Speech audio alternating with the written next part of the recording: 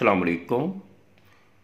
I'm سر ندیم عزیز طلبہ، کل ہم نے مطالعہ پاکستان جوان نحم کی باب نمبر دو کے سوال نمبر تین کا کچھ حصہ پڑھا تھا۔ آئیے آج ہم اس سوال کا مزید حصہ پڑھتے ہیں، تو آئیے دیکھتے ہیں۔ سوال ہے، قائد اعظم محمد علی جناح کی سیاسی اور آئینی کوششوں کے حوالے سے کیا بے پاکستان میں کردار؟ تو کل ہم نے اس کا کچھ حصہ پڑھا تھا یہاں تک۔ آج ہم یہاں سے اس کو پڑھتے ہیں۔ گول میز کانفرنس۔ انیس سو تین گول میز کانفرنسیں انیس سو تیس سے انیس سو بتیس تک لندن میں ہوئیں۔ قائد اعظم رحمۃ اللہ علیہ نے پہلی دو کانفرنسوں میں شرکت کی۔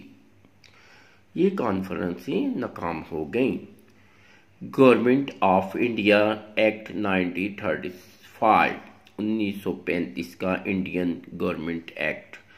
حکومت برطانیہ نے گورنمنٹ آف انڈیا ایکٹ انیس سو پینتیس کو منظور کیا، مگر کانگریس اور مسلم لیگ دونوں جماعتوں نے ہی اسے ناپسند کیا۔ تاہم، اس کے صوبائی حصہ کو قائد اعظم کی تحریک پر قبول کر لیا گیا۔ انیس سو چھتیس سینتیس کے عام انتخابات میں دونوں جماعتوں نے حصہ لیا۔